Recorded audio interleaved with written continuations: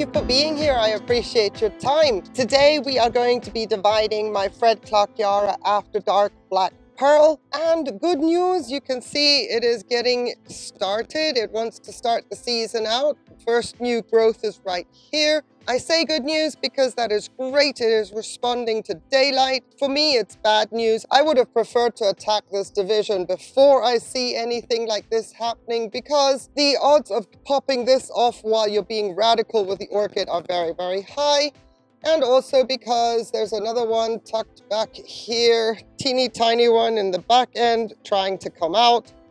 And yeah, chances are they're to break off. However, we are early enough in the season that if I pop these off, then it will recover because of the division and it'll find another point of growth. I would rather leave them on. So I have this time been soaking this orchid. She has a potion of CalMag in there only. Not necessarily that she needs it at this point in time, but I do want to loosen the root ball this time around. Also because if I do do some damage, at least it has a little bit of strength to draw on when it has to start all over again with another new growth. So there's a few things going on as to why now I've got CalMag soaking in here. I don't necessarily need to save the pot. It's broken already. I could literally go in with the secateurs, but because I had to destroy the other previous pot when I did the Jack of Diamonds cleanup and division, I want to see if this will help me out for future reference in case I tackle another Catasetinae that is pot bound and has been in its pot for probably four years now. Anyway, enough of the jibber jabber. Let's see if we can't get in there without doing too much damage to the new growths. I'm not concerned about the roots. Well, it's looking much better and much easier than the other one did. There's a lot more leca coming out of this one prior. That's great. Let's see if I can just pull it out. Wouldn't that be great?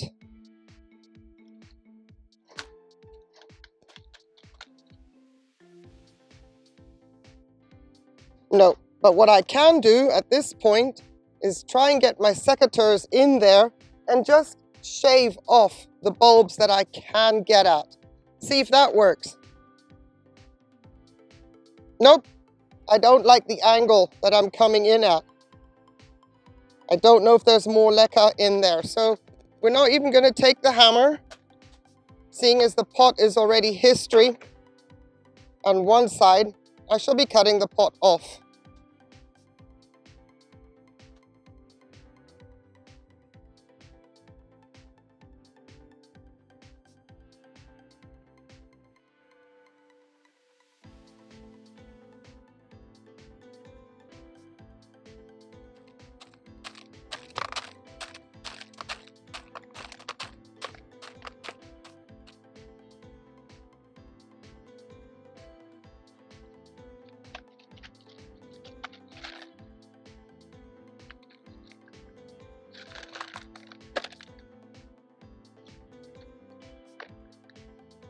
There we go.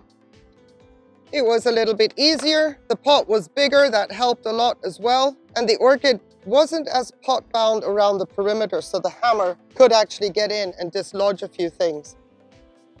All right, it should be relatively easy from here on in.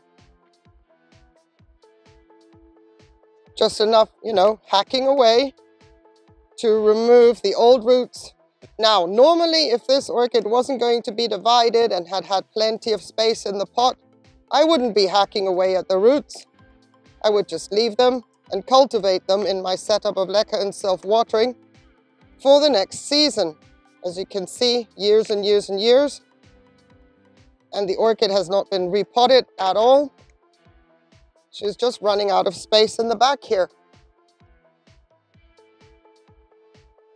Just have to be very careful when it comes to the dividing part that I make sure that I don't damage any bulbs and leave enough for successful growing on of the new owners. Yes, because I'm going to divide her into two. I have lots and lots of back bulbs here with the new growth coming. There's a lot of support here for the orchid to grow. I've got two more beautifully sizable pseudobulbs right here. makes a great division, and then I'll be keeping the front part, which is this bit.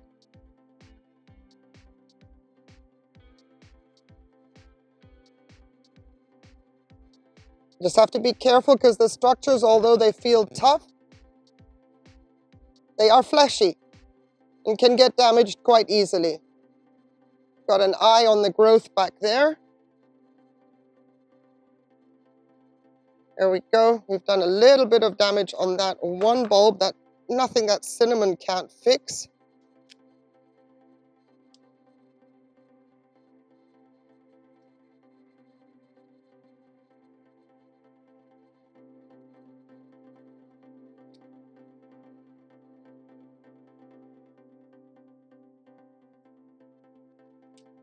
There we go. The front has been dislodged. We still have the growth. Woohoo! Thank goodness for that. All right, now let's be just as prudent with the next step and get further back because we need to apply cinnamon to this little damaged part here. And I apologize for any background noise that I will not be able to edit out because I've got things happening beyond the hedge and I'm right in the middle of what I'm doing and I just can't stop.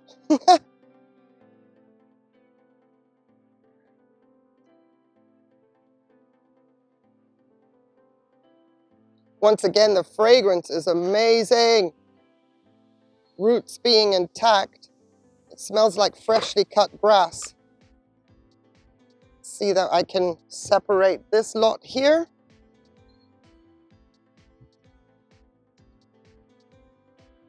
got to try and get into the middle.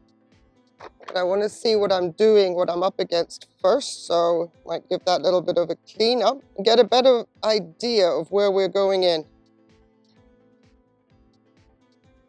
Be a shame to do damage to these two bulbs here because they are very, very good for growing on.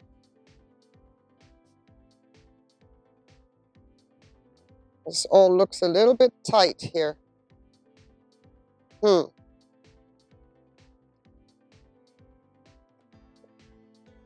while I ponder. While I ponder this, I'm going to go and get some cinnamon. And what I was just looking at, you see, they might be fleshy and tough. Sorry about that. But you see that there? A teeny tiny seedling bulb. Yeah, so small I didn't see it and it just popped off the top. So these guys, you know, they might look heavy duty, but hmm, they are, they're fragile. So I'm gonna get some cinnamon and deal with those wounds while I work and try and divide these pieces. We can be liberal. no need to protect any roots here, seeing as they're all coming off.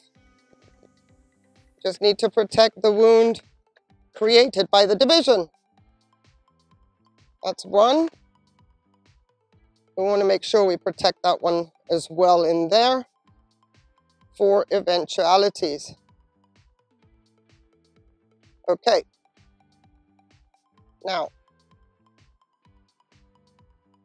with any other division, I'd be putting my sprayer into that area so that I can get a clear visual of what's going on. But seeing as this orchid is coming out of dormancy, I don't want to affect that growth.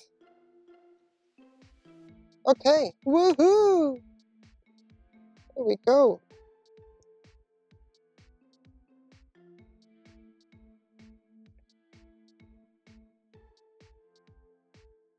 Like cutting through a chicken thigh or something. You find the bone where all the cartilage is, and it's really easy to slice through. You find the point on the rhizome of the bulbs. It's really easy to slice through as well. You find a point of resistance, then you're not at the ideal point of the rhizome. So at, instead of just proceeding and hoping for the best, stop and start again and find that weak spot. Easily also done when you, you know, like I just did, I maneuvered it around, jiggled it around just to see where the easy point is where it's going to give first. And we have our second piece. Then we can add some more cinnamon in here. There we go. And now all that I need to do for this piece is remove it from the root ball. Whoa, it's already starting on roots. We'll have to work with that. I'll show you just now. Let me dislodge this. Just below the pseudobulbs. Do not get too close to them. There's no need to be the Figaro. The idea is protect the bulbs above. Just leave enough of the root system to give you that buffer. There's no need to go all the way close and be so precise. There we go. Root ball and Fredclarkeara 3.0 has been relieved. And you can see, look at that. Isn't that awesome? Sorry for my cinnamon covered fingers. Ooh, I love it. Right. I would normally like to clean all that up, but the health of this little growth with the new roots is paramount. It's got plenty to work with. I'm telling you, some nurseries will send you something like this and only with the last two bulbs of any kind of growth, they would continue to pop this off and divide it and divide it. I have a weak spot right here.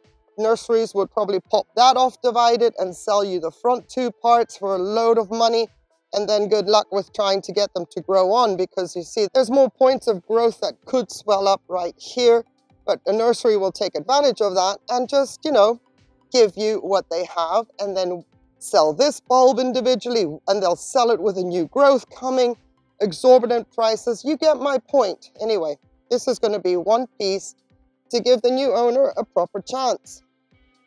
And I'm going to clear up my little workstation because I need to be doing some potting up for at least the division that I'm keeping. So if you're interested, stick around. These look really, really good. These can just lie around and wait. And then let's update on the Jack of Diamonds as well.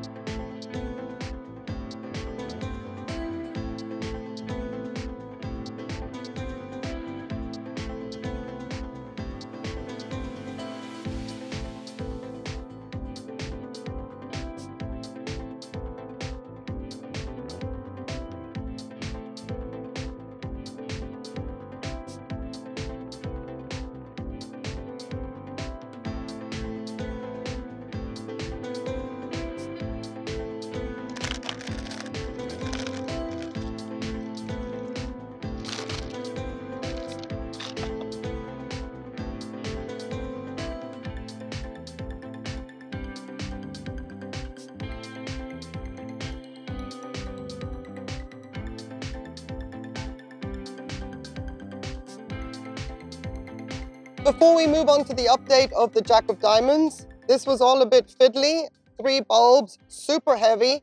My intention was to get the leca and self-watering system in place ahead of time so that the leca beads can now dry out until such a time that this new growth grows new roots. I don't want anything wet touching those roots until they are not very well established in the pot Now this gives me plenty of time to achieve that. Once the growth starts to grow new roots and seeing that it is really low in the pot, I couldn't raise it up any higher because the weight of these bulbs keeps dropping the bulbs back down the stake. So I've used a little bit more leca in the back to prop it up. It is not ideal, but for the time being, it's the best I can do without slicing my bulb that I'm using as an attachment into half. Depending on how this growth progresses, my plan is to raise the bulbs up periodically so that the roots can go lower and lower and get the orchid to the right height. Should I not be successful with that, seeing as the weight is going to increase the bigger this new growth gets, then so be it. It is in the pot at the height that it is. Being that the orchid is a bit of a climber, I mean, you know, it's not that big a deal if it's a little bit lower in the pot.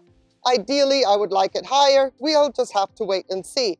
As it is wobbly, it is now going to go indoors into a location where I will not have to move it unless I am periodically going to raise the bulbs. Now, let's get to the Jack of Diamonds because I used exactly the same system and let's see how that one's coming along. Here's the division that has yet to be sent to its new owner.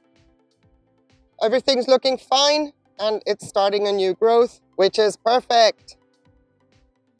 And the system there you can see, like with the After Dark Black Pearl, I have it suspended above the pot. The pseudobulbs have absolutely not shriveled. And we're starting a new growth in the back. So this one is in an ideal position height-wise because it was lighter, the pseudobulbs aren't as heavy, and it doesn't keep slipping down on the stake for me. Anyway, we're in business with the Jack of Diamonds, it is on the move. So I hope that you enjoyed this little bit of a pull apart, tear apart, clean up apart of my Fredclarkeara After Dark Black Pearl. It is about to start raining. I don't mean to rush through this video. So if I am kind of cutting it short and you have any questions, the comments are there for a reason. Let's continue the dialogue. I appreciate your time very, very much. Thank you so much for watching. Wishing you a beautiful day on that one condition though that you do stay safe, please. I'd love to see you in the next video. Take care. Bye.